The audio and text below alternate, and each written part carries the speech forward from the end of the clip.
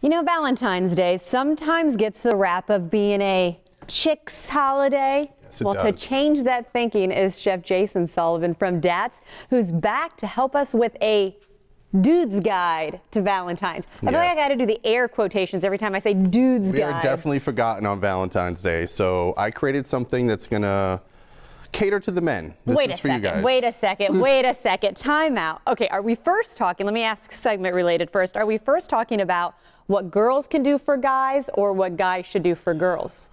a little bit of both. a little I mean, I feel like it should be a little more, you know, 50-50. I feel like now nowadays like it's a little, uh, it's a little lopsided. That's It's a little lopsided, he's saying. So you're saying one person in the relationship is always doing the heavy lifting, Especially on Valentine's Day, yes. especially on Valentine's Day. So you're trying to help that person yes. maybe make a make a good breakfast, start it out right. Yeah, we created a um, donut waffle. So what Okay. we're gonna do here, I we're am- gonna take this. Uh, two worlds I love the waffle because it has these little crevices here where all the the goodness can go. So we're gonna put that in there, give it a little press. We're gonna pour some of the donut glaze on there. Okay, wait. Let's let's back up here. How are you able to get donuts looking like waffles like this? Because this is I- even step one of amazingness. Yeah. So I took the dough and I proofed it and then I put it in the waffle iron. And I just pressed it as hard as I can. Okay. Came out perfect. And what is this spaceship thing that we're now? This thing is a, um, it's a donut ice cream maker. So, so say we don't have one of these in our kitchen. cut. Now I don't spend a lot of time in the kitchen. Maybe I do. I don't think so. perfect. What Anything that gets really hot, like a uh, panini press or a waffle press, would work as well. But You're putting ice cream in here. yes, so we're gonna do that. We're gonna give it a little boom. We're gonna put some of that on there, and then we're gonna give it a little press. I, I'm Let it all just.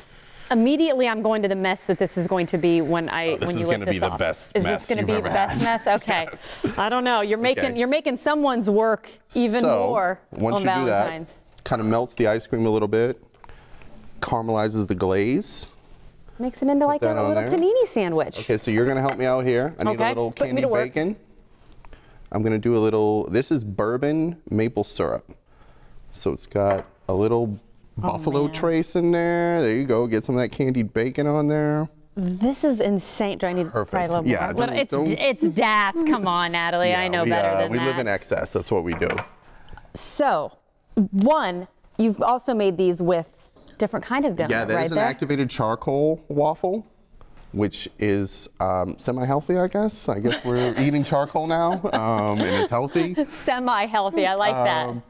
Yeah. So And you know what, Jason? Guess what we forgot? What? I forgot to scout out a fork to start the segment. So guess what? Maybe that's a good thing. Maybe it's a. I'm saving our I think, viewers. I think you just grab it and go at Just it. grab it. Oh man, I'm. it. I was saying I was trying to save our viewers. Pick it up with syrup. Get in there. Oh my my my. Mm.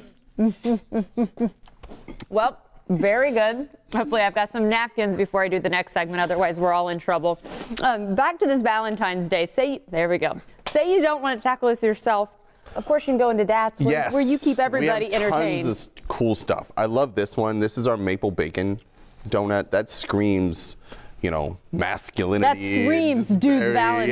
yes. Dudes Um, and we also have our king cake donuts, um, which are, you know, Always fun, always perfect for the season. Again, thanks for coming in, giving us some ideas for a little different take on Valentine's Day. And if you don't want to tackle this on your home, well, go in, visit them. There's the address for Datz.